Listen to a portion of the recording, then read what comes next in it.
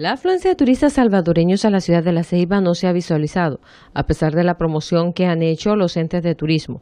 Algunos de los turistas salvadoreños que han pasado en tránsito aseguran que la ciudad de La Ceiba se ve sucia y abandonada. De lo que nosotros pasamos monitoreando, ¿verdad? No hemos recibido lo que es una confirmación de reservas para este mes de agosto de parte de salvadoreños, pero sí meses anteriores sí nos cotizaron lo que fue Cayos Cochinos, ¿verdad? Entonces, eh, los paquetes prácticamente fueron de un día, ¿verdad? Prácticamente porque ellos comparten la visita en Cayos Cochinos y lo que es Utila o Roatán. Entonces, prácticamente se les ofreció lo que es Cayos Cochinos por un día y se les ofreció por una noche también.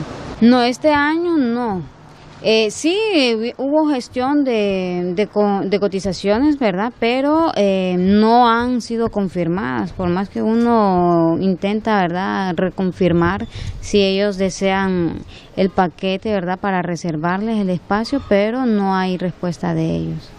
Por su parte, en la Recotur no se ha tenido el movimiento de salvadoreños como en otros años. Realmente eh, ha sido algo pasivo, eh, no, no, no se ha habido movimiento como otros años, ¿verdad? En, cuanto a mercadeo, pues eh, otras ocasiones pues se ha ido a algunas ferias para promocionar el destino y esto, en este caso pues eh, no se ha podido lograr, tal vez a través de la organización gestora del destino, la OGD, pues se ha hecho algún mercadeo, alguna distribución de de, material publicitario. Sé que el IHT pues ha, hecho un trabajo para recoger información de los diferentes destinos de Honduras como tal para poder promocionar para la Feria Agostina, pero en esencia eh, la percepción es que no, no, no existe ese movimiento como otros años. Para Telenoticia les informó Yasmira Locandro y en cámaras, Byron Meléndez.